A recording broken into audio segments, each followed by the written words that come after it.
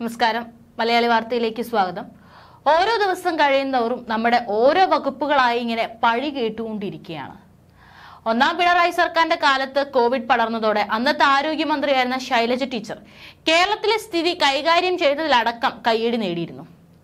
എന്നാൽ രണ്ടാം പിണറായി സർക്കാർ അധികാരത്തിൽ കയറിയതിനു ശേഷം ആരോഗ്യ വകുപ്പിനെ കുറിച്ച് മോശം അഭിപ്രായമാണ് ഉയർന്നു കേൾക്കുന്നത്. ആരോഗ്യ വകുപ്പിന് കീഴിൽ പണിയെടുക്കുന്നവരെ നിലയ്ക്ക് നിർത്താൻ മന്ത്രിക്ക് കഴിയുന്നില്ല എന്നാണ് ഉയർന്നു വരുന്ന പ്രധാന ആരോപണം. ഇപ്പൊ വീണ്ടും ആരോഗ്യവകുപ്പിന് റെഡ് മാർക്ക് വരുത്താനായി ഒരു സംഭവം കൂടെ റിപ്പോർട്ട് ചെയ്തിരിക്കുകയാണ്. ആലപ്പുഴ മെഡിക്കൽ കോളേജിലാണ് ഗുരുതര വീഴ്ച സംഭവിച്ചിരിക്കുന്നത്.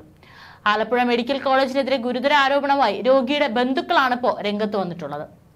അതായത് പ്രസവ ശസ്ത്രക്രിയക്കിടെ പഞ്ഞിക്കെട്ട് യുവതിയുടെ വയറ്റിനുള്ളിൽ ഉപേക്ഷിച്ച് തുന്നിക്കെട്ടിയെന്നാണ് പരാതി. കഴിഞ്ഞ മാസം പതിനെട്ടിനാണ് ചമ്പക്കുളം നടുഭാഗം സ്വദേശിനിയായ ലക്ഷ്മിയുടെ സിസേറിയൻ ശസ്ത്രക്രിയ ആലപ്പുഴ മെഡിക്കൽ കോളേജ് ആശുപത്രിയിൽ നടന്നത്. നാലാം ദിവസം ഡിസ്ചാർജായി. എന്നാൽ പിറ്റേന്ന് രാവിലെ തുന്നിക്കെട്ടിയ ഭാഗത്ത് നിന്ന് പഴുപ്പൊലിക്കാൻ തുടങ്ങുകയായിരുന്നു. ആദ്യ പ്രസവമായിരുന്നു ലക്ഷ്മിയുടേത്. പഞ്ഞിക്കെട്ട് വയറ്റിലുണ്ടെന്ന കുടുംബത്തിന്റെ ആരോപണം നിഷേധിക്കുകയാണ് ആലപ്പുഴ മെഡിക്കൽ കോളേജ് അധികൃതർ. ഡിസ്ചാർജായ അതേ ദിവസം തന്നെ ആശുപത്രിയിലെത്തിയ ലക്ഷ്മിക്ക് പകരം പഴുപ്പിനും വേദനയ്ക്കും ചികിത്സ നൽകുകയായിരുന്നു. ചികിത്സാ പിഴവിനെ തുടർന്ന് അമ്മയും കുഞ്ഞും മരിച്ചെന്ന വിവാദം ഈ അടുത്തിടെ ഉടലെടുത്തിരുന്നു. അതായത് ഡിസംബർ ആറിന് ലക്ഷ്മിയുടെ വയർ വീണ്ടും തുന്നിക്കെട്ടണമെന്ന് ഡോക്ടർമാർ നിർദ്ദേശിച്ചത് അതേ ദിവസം തന്നെ.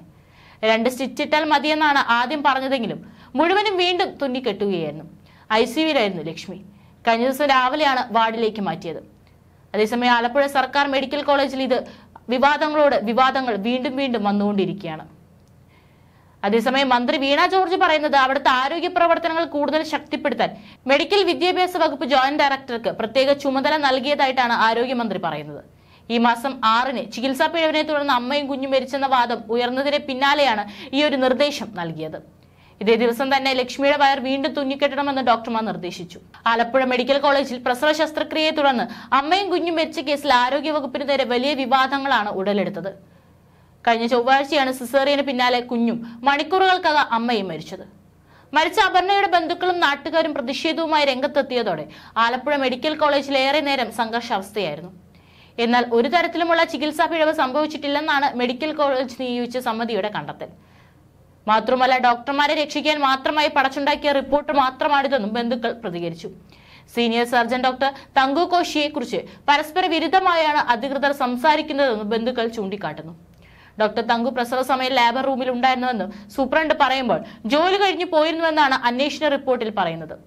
സംഭവത്തിൽ സർക്കാർ നിയോഗിച്ച വിദഗ്ധ സമിതിയുടെ അന്വേഷണവും സമാന്തരമായി നടക്കുന്നുണ്ട്. കുട്ടിയുടെ ജീവൻ രക്ഷിക്കാനുള്ള അടിയന്തര ഇടപെടൽ വേണ്ടാത്തതുകൊണ്ടാണ് അടുത്ത ബന്ധുക്കളോടും അതുപോലെ തന്നെ കുട്ടിയുടെ മാതാപിതാക്കളോടും സമ്മതപത്രം എഴുതി വാങ്ങുന്നതിനുള്ള കാലതാമസം ഉണ്ടായതെന്നും റിപ്പോർട്ടിൽ പറയുന്നുണ്ട്. അതിനുശേഷം ഒരാഴ്ച പിന്നിടുമ്പോഴാണ് അടുത്ത സംഭവം കൂടെ റിപ്പോർട്ട് ചെയ്യുന്നത്. ഇതിലും അന്വേഷണം നടത്തുവാനായിട്ട് നിർദ്ദേശിച്ചിട്ടുണ്ടെങ്കിലും ഇതും ആരോഗ്യ വകുപ്പിന് മേൽ വീണ്ടും നെഗറ്റീവ് മാർക്ക് വരുത്തുകയാണ്.